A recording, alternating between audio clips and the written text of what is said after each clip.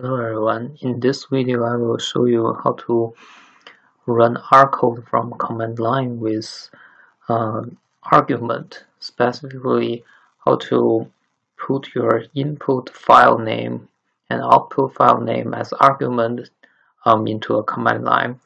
So actually um, they are the same as um, other input because any um, argument uh, is just a string.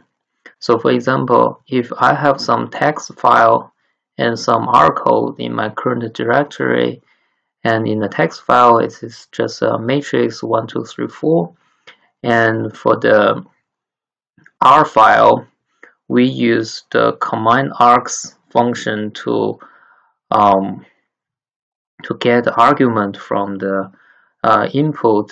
So for example, uh, ideally I have two input. One is the in file name another is the out file name.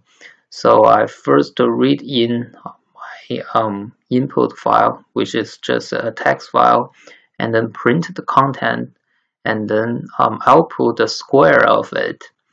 So we run it with the Rscript function um, and then follows with the name of your programs and then your input argument in.txt and out.txt. So as you can see from the output, it um, print out the um, the txt file, which is just a one, two, three, four. And then um, if you list all the files in my current directory, it has one more file, which is the out file.